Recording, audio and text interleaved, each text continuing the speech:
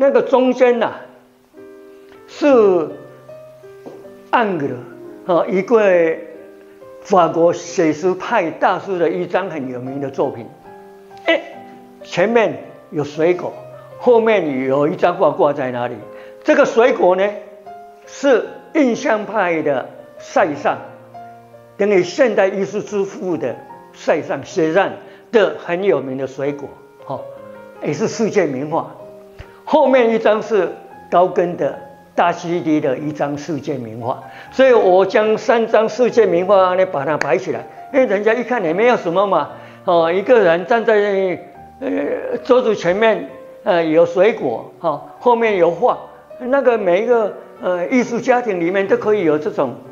像这样的一个议题出来，哈。